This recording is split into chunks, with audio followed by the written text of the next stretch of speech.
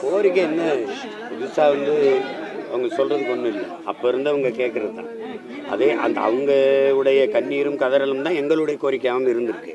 இப்போ முப்பத்தி ஒரு நாட்கள் ஆயிடுச்சு ஸ்ரீமதி இறந்து. இப்போ பல சந்தேகங்களை வந்து ஊடகத்தின் வாயிலாக அல்லது மக்கள் மன்றத்தின் வாயிலாக நாங்கள் எழுப்புகிறோம் அம்மாவும் கேட்குறாங்க ஆதாரத்தோடு தான் நம்ம கே காட்டுறோம் நம்ம வந்து இப்போ. தற்கொலை செய்வதற்கான காரணம் ஒன்றும் இல்லை. இவங்க சொல்கிறது மாதிரி இந்த இது இல்லை. ஒருவேளை தற்கொலைனாலும் இவ்வளவு தூரம் இழுக்க வேண்டியதில்லை எதனால தற்கொலை செஞ்சாங்கிற காரணத்தை எங்களுக்கு காட்டி நிரூபிச்சிருந்தா போதும். இப்போ ஒரு கடிதம்ன்றாங்க. இப்போ பாருங்கள் பிணவரையிலிருந்து அவ அவ பையிலிருந்து ஒரு கடிதத்தை எடுத்தால் விழுந்து கிடக்கும்போது இறந்து கிடக்கும்போது முதல்ல எதை எடு கை சட்டப்பையில் எது இருக்கான்னு பார்ப்பீங்க. அதுதானே? நியாயம். அந்த பிணவரையில் அவள் போட்டிருந்த தோடு இல்லை மூக்குத்தி இல்லை கையில் போட்டிருந்த வளையல் இல்லை காலில் போட்டிருந்த கொலுசு இல்லை எல்லாம் கலட்டப்பட்டிருக்குன்னா அப்போ உடைக்குள்ளே இருந்து அவள் உடையிலிருந்து அவன் அவள் கடிதத்தை எடுத்துக்கணும்ல. விழுந்த இடத்துல எடுக்கல மருத்துவமனையில் போய் மருத்துவர்கள் சோதிக்கும் போது எடுக்கலை. பிணவரைக்குள்ளே போய் இருந்து ஒரு கடிதம் இருக்குதுன்னு எடுத்துக்கிட்டு இருந்ததுன்னா இது எவ்- எவ்வளவு ஒவ்வொன்றுலேயும் முன்னுக்கு பின் முரணாக இருக்குது பாருங்க. இப்போ அவள் தற்கொலை பண்ணிக்கிட்டோம் தற்கொலை தான் போய் தேடி பார்த்துக்கிறங்கன்னா அவள் தங்கியிருந்த அறையை போய் அம்மா அப்பா பார்க்கணும்போது தாராளமாக திறந்து விடலாமே எதுக்கு வலுக்கட்டாயமாக காவலர்கள் வந்து இழுத்து கூட்டி கதவு சாத்தி நமக்கு பல கேள்விகளை எழுப்புது பல ஐயங்களை எழுப்புது. இதை வந்து குறிப்பாக தமிழக அரசு இதை நியாயமாக அணுகி இருந்தால் இது எளிதாக இது ஒரு தீர்வுக்கு கொண்டு வந்திருக்கலாம். இது கொலையா தற்கொலையா என்னென்னு. நம்ம கேட்குறது ஒரு நியாயமான பிள்ளை இல்லை நமக்கு திருப்பி வரப்போகிறது இல்லை ஆனால் என்ன நடந்திருக்குதுன்னு நமக்கு தெரியணும். இன்னும் இனிமேலும் பல ஸ்ரீமதிகள் உருவாயிராமல் இருக்கிறதுக்கு நம்ம அதுக்கு தான் நம்ம வழிவகுக்கணும். அதனால் அது இவங்க வந்து மேலும் மேலும் அதை காலம் கடத்திக்கிட்டு போகிறது வந்து இது ஏற்புடையது இல்லை. இப்போ நமக்கு சிபிசிஐடிக்கு விசாரணைக்கு நாங்கள் ஒப்படைச்சிருக்கோம் அப்படிங்கிறது இது எப்படிப்பட்டதுன்னு பாருங்கள் காவல்துறைக்கும் சிபிசிஐடிக்கும் ரெண்டுக்குமே தலைவர் யாருன்னா பொறுப்பு யாருன்னா ஐயா ஐயா ஸ்டாலின் அவர்கள் தான் முதல்வர் தான். அவருக்கு அவருக்கு கீழே இயங்குற காவல்துறையின் விசாரணை சரியில்லைன்னு சிபிசிஐடிக்கு மாற்றினா இப்போ நமக்கு என்ன கேள்வி இருக்குது? அப்போ உங்களுக்கு கீழே இருக்கிற காவலர்கள் காவல்துறையின் மீது உங்களுக்கு நம்பிக்கை இல்லையா? சரி சிபிசிஐடிக்கு மாற்றுறீங்க அதை மாற்றுறீங்களா காலம் கடத்துறீங்களா? மாற்றுறீங்களா எங்களை ஏமாத்துறீங்களாங்கிற கேள்வி வருது. இப்போ இதுக்கு அப்போ சிபிசிஐடிக்கு மாற்றிருக்காங்க அது விசாரித்து வரட்டும்ட்டு நாங்கள் பொறுமையாக இருக்கணும். அப்போ அதுக்காக தானே அது பயன்படுது? இப்போ ஒரு கேள்வி ஒரு மாவு. அது இட்லியா சுட்டா எப்படி வரும் தோசையாக சுட்டா எப்படி வரும்னு உங்களுக்கு தெரியும். சுடுற ஆள் ஒருத்தர் தானே. இந்த இரண்டு இரண்டு துறையினுடைய தலைவர் யார்? அப்போ என்னவா எங்களுக்கு நீதி கிடைக்கும்?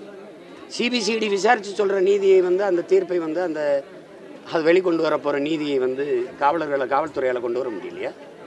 இது இது எப்படிப்பட்ட வேலைன்னு பாருங்கள் நம்ம எழுப்புகிற கேள்விக்கு வந்து பதில் சொல்லாமல் அது காலங்கடத்தி பெற்றோர்கள் மீது குறைய சொல்கிறது பள்ளி நிர்வாகத்தின் மேலே எந்த குறையும் இல்லை அப்படின்னா இப்போ கைது செய்யப்பட்டவங்களுக்கு இந்த கொலைக்கு எதாவது இந்த மரணத்துக்கு ஏதாவது சம்மந்தம் இருக்கா? தற்கொலைக்கு அவங்க தூண்டுனாங்கன்னு சொல்லி கைது பண்ணியிருக்கீங்களா இல்லை எப்படி? தற்கொலை வச்சுக்கிறோம். தூண்டுனாங்களா? எப்படி? இந்த கொலைக்கு அவங்களுக்கு இந்த மாதிரி இந்த தற்கொலைக்கு இதுக்கும் இந்த மாதிரி காரணம் இருக்குன்னா முப்பது நாளில் நிரூபிச்சிருக்கலாம்ல. அப்போ எங்களுக்கு ஆமாம் அவங்க சொல்கிற நியாய காரணம் நியாயமாக இருக்குன்னு நாங்கள் விலகி என்பது அது அது எப்படி பார்த்தாலும் அதில் தவறு நடந்துச்சு அதை அதிகாரத்தை வச்சு மறைக்க நினைக்கிறாங்கங்கிறது நமக்கு தெரியுது. அதிகாரத்தில் இருக்கிறவங்க எப்பவும் முதலாளிகளுக்கு வேலை செய்கிற ஏவலாளுகளாக ஆளிகளாக மாறிட்டதுனால அது காவல்துறையும் கைகட்டி வேலை செய்யுது. அதிகாரமும் அதுக்கு வேலை செய்யுது. ஏன்னா இங்கே தொடக்கத்திலிருந்தே நீண்ட காலமாக முதலாளிகளுக்கான அதிகாரம் தான் நிறுவப்படுதே ஒழிய அடித்தட்டு மக்கள் அப்பாவி மக்கள் உழைக்கும் மக்கள் மக்களுக்கான அதிகாரம் இங்கே நிறுவப்படலை அதை இந்த ஸ்ரீமதி நிகழ்வும் நிரூபிக்குது. அப்படிதான் நான் பார்க்குறேன். வேற. பள்ளி மாணவர்கள். பள்ளி மாணவர்கள் மட்டுமா? ஏறக்குறைய இப்போ ஆறுக்கு மேற்பட்ட காவலர்கள் தற்கொலை செஞ்சுருக்காங்க. இது காரணம் என்ன? அழுத்தம்தான். பள்ளி இப்போ ஸ்ரீமதியுடைய மரணத்தை விடுங்க. பொதுவாகவே வந்து மதிப்பெண்களை வச்சு பிள்ளைகளினுடைய அறிவை மதிப்பிடுகிற ஒரு போக்கே தவறானது. அது என்னுடைய நிலைப்பாடும் கோட்பாடும் கூட. இப்போ எல்லா இடத்துலையுமே பல்வேறு காரணங்களால் நம்ம பிள்ளைகள் வந்து உயிரை மாய்த்துக்கொள்கிறாங்க ஒரு பக்கம் போதை பழக்கம் பெருகி கொண்டு போகுது. நீங்கள் பார்க்குறீங்க சாலையில் ஒரு பையன் வந்து அதிகமாக வந்து கஞ்சாவோ ஏதோ போதைப் பொருளை பயன்படுத்திட்டு வழியில் போகிறவங்களெல்லாம் அவர் மறித்து க தகராறு செய்கிறத பார்க்குறீங்க. அது அவர் குற்றம்னு நீங்கள் நினைக்கிறீங்களா? இது உங்கள் குற்றம். ஏன் குற்றம்? இங்கே கூடியிருக்கிற எல்லாருடைய குற்றம். சமூகம் குற்ற சமூகமாக மாறிடுச்சு. அதில் அவரை மட்டும் குறை சொல்லி எப்படி? விற்கிது வாங்கி குடிக்கிறாரு. விற்க வைக்கவன் யார்? விற்க அனுமதித்தது யார்? இதுக்கு பொறுப்பேற்க வேண்டியவர் யார்? அப்போ அந்த பையனை மட்டும் குறை சொல்ல எப்படி முடியாதோ அப்படி இந்த இதில் இந்த பிள்ளைகள் உயிரை மாய்த்து கொள்ளுகிற புறச்சூழலை அகச்சூழலை நம்ம உருவாக்கி விட்டுட்டு அது வந்து அவங்க இறந்து போகிறாங்க இறந்து போகிறாங்கன்னு கேள்வி எழுப்பிட்டு இருக்கிறது எப்படி சரியாக இருக்குது? இப்போ அது ரூசோ சொல்கிறது தான் நீ குற்றவாளியை பிடிச்சி தூக்கில் போடுறத முதல் நிப்பாட்டு. அவன் குற்றம் செய்வதற்கான காரணத்தை பிடிச்சி தூக்கில் போடுங்கிறான். முதல்ல நம்ம பிள்ளைகள் இந்த செயலை செய்வதற்கு இந்த முடிவை எடுப்பதற்கான காரணம் என்னன்னு பார்த்தா அதை வேரோடு கலையணும் அதுதான் இதுக்கு சரியான தீர்வாக இருக்க முடியுங்கிறது தான் என்னுடைய கருத்து கலவரத்தில் ஈடுபட சொல்லி படிக்கும் இளைஞர்கள் அதை நான் அதை வந்து கண்டிக்கிறேன். அதை கண்டித்து ஏற்கனவே நான் சொன்னேன். அரசு அந்த மாதிரி செய்யக்கூடாது. நீங்கள் நியாயமாக நீங்கள் தான் பொறுப்பேற்கணும் இந்த குற்றத்தை ஸ்ரீமதியோட மரணத்திற்கு ஒரு நியாயமான காரணத்தை மூணு நாளில் நீங்கள் சொல்லியிருந்தா இந்த கலவரமே வந்திருக்காது. மக்களுடைய கோபத்தை எப்படி சொல்லுவான்? உள்ளுக்குள்ளே இருந்த நெருப்பை வெளியில் எப்படி வெளிக்காட்டுவான்? நீங்கள் இந்த கலவரம் நடத்தலைன்னா இந்த நிர்வாகத்தில் இருக்க அஞ்சு பேரை கைது செஞ்சிருப்பீங்களா? நான் கேட்குறதுக்கு பதில் சொல்லுங்கள் அப்போ முதல்ல நிர்வாகத்தின் மீது எந்த குற்றமும் இல்லைன்னு சொன்ன நீங்கள் மறுபடியும் அந்த நிர்வாகத்தில் இருக்கவங்களை எப்படி கைது செஞ்சீங்க?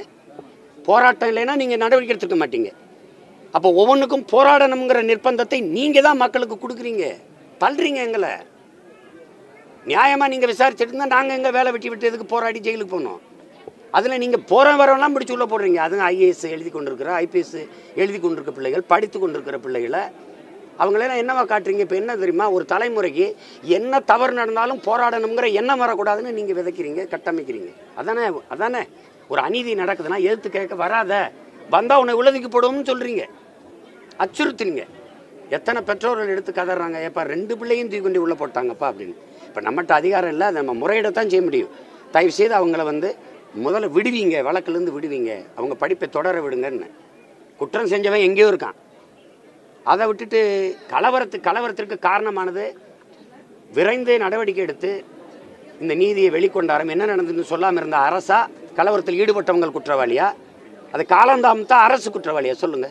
அவங்க தரப்பு திசை திருப்ப கலவரத்தை ஒன்று பண்ணுறாங்க அவங்களே அவங்களே கலவரம் அப்புறம்? அதனால அது இந்த இடத்துல மிகப்பெரிய தவறை அரசு செஞ்சிருச்சு. அது என்னுடைய குற்றச்சாட்டு.